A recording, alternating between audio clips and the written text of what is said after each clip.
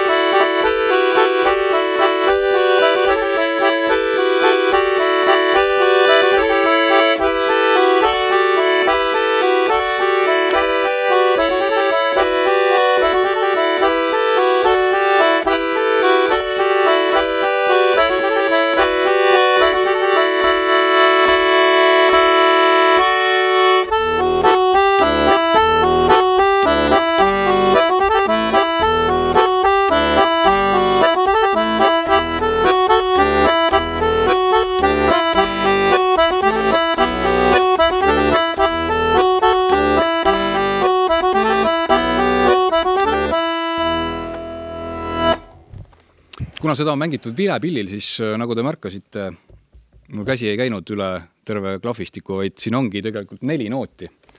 aga mis äh, minu jaoks teevad selle loo huvitavaks, on äh, just need kaunistused, mida ma A osas mängin kolmandale löögile ja B osas mängin esimesele löögile. et see A osa algus kõlab siis niimoodi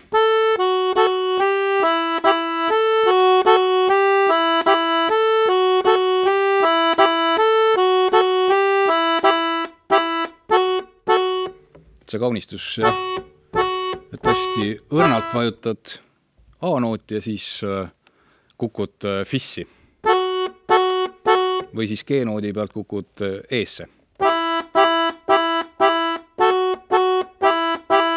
ma ei ole kindel, kas vilepillil on need samad intervallid nende kaunistuste vahel, aga, aga akordioniga vähemalt on see hästi selline mugav ja kõlab ikkagi minu, minu jaoks vilepillilikult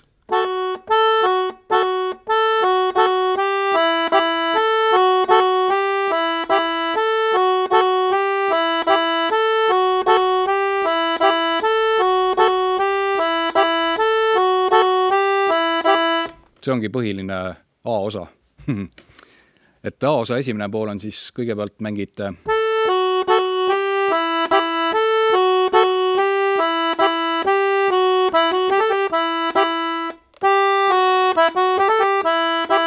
siin on veel üks kaunistus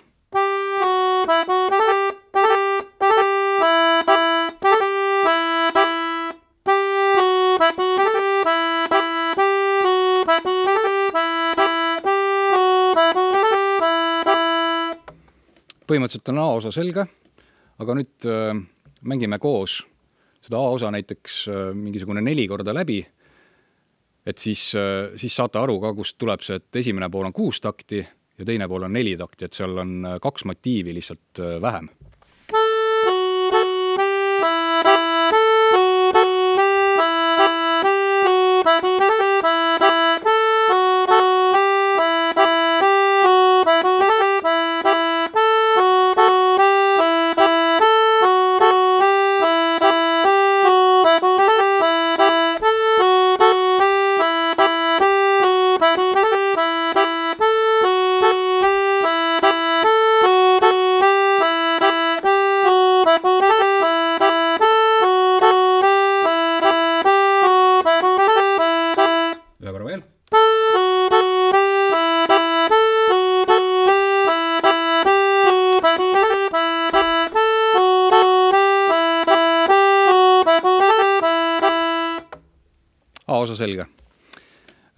B-osas, nagu ma ütlesin, on, on see kaunistus, mis praegu oli kolmandal löögil, on esimesel.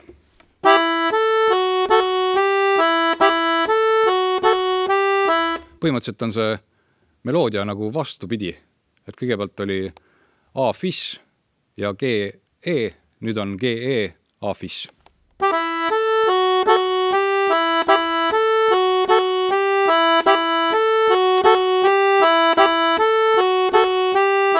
ja B-osa teine pool.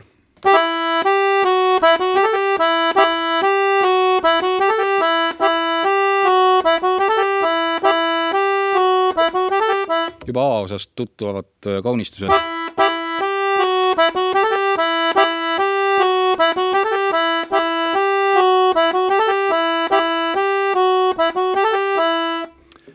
terve B-osa.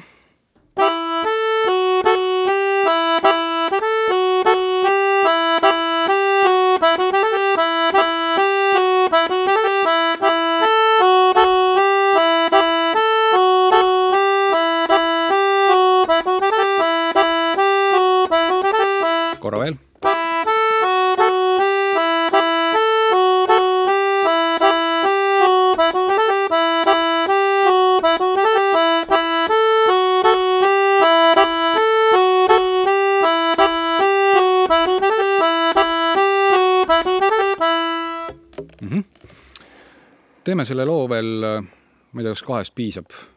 no teeme kaks.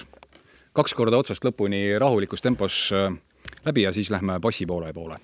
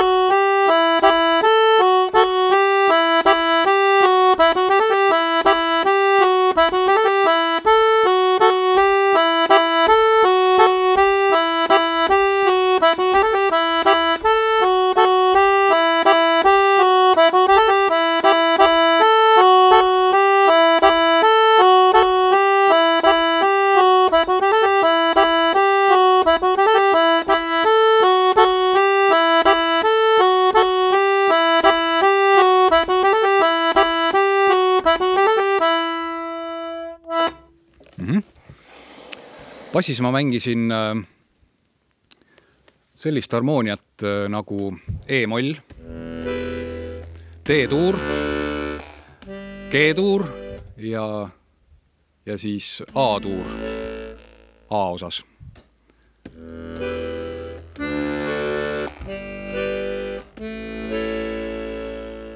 ja ma tegin seda niimoodi, et äh, ühe läbimängu ajal ma mängisin ainult akorde, pikki akorde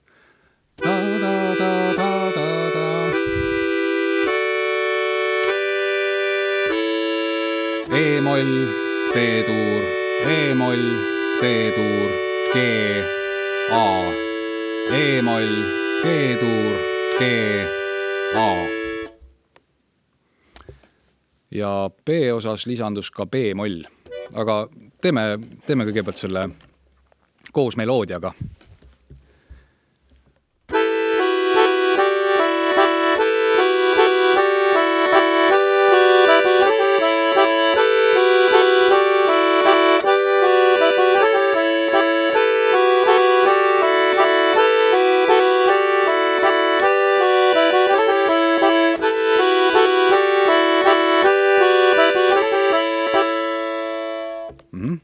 ja B-osas on siis äh, E-moll, D-tuur, E-moll, D-tuur, G, A, B-moll, D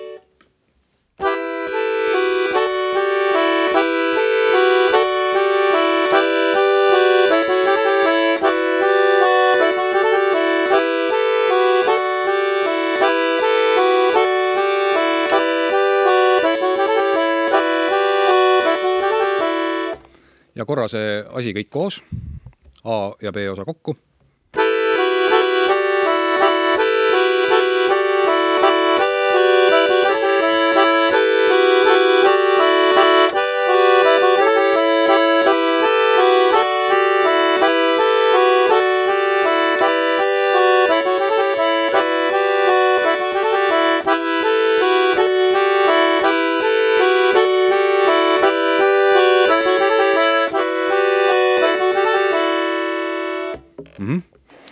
ja siis äh, võib-olla te mäletate veel päris alguses ma mängisin seal ka koos äh, põhibassiga. ja see rütm on äh, selline, et kolm kaheksandikku, et esimene on üks, kaks, kolm ja teine on üks, kaks, kolm, kolm, üks, kaks, kolm.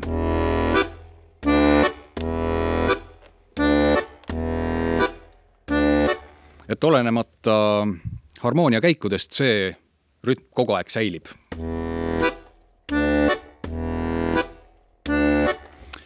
ma mängin teile lihtsalt bassiga siis nüüd A osa äh, korra läbi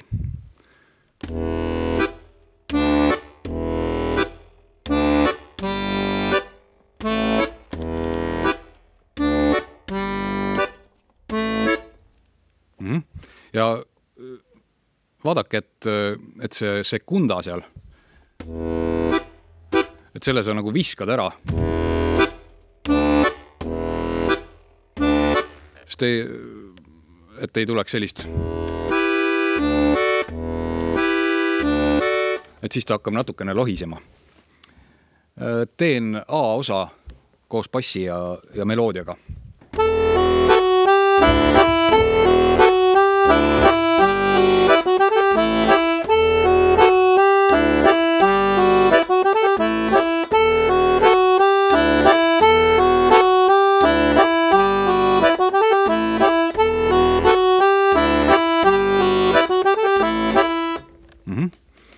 sama asi toimub äh, B-osas.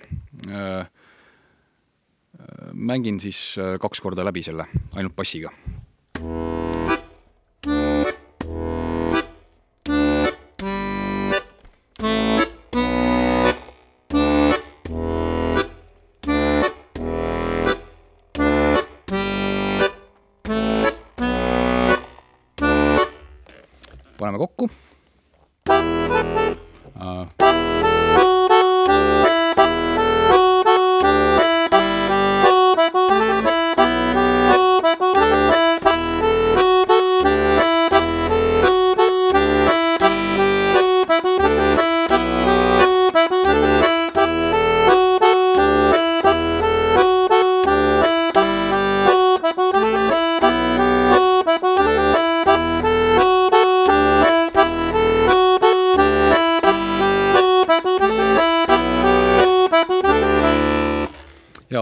terve lugu nüüd läbi selle rütmiga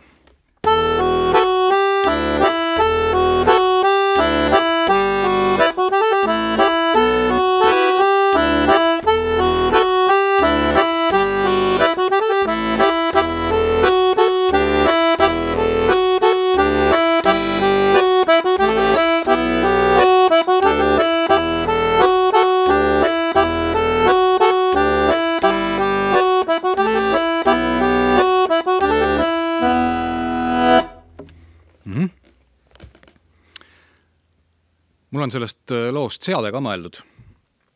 Äh, nii ei pea tegema, aga mina teen, äh, mina ise praegu mängin niimoodi, et ükskord on lihtsalt meloodia, siis on pikad akordid ja siis on selle rütmikaga, ma arvan, et kaks või kolm korda vähemalt ja siis lõpetan uuesti pikkade akordidega.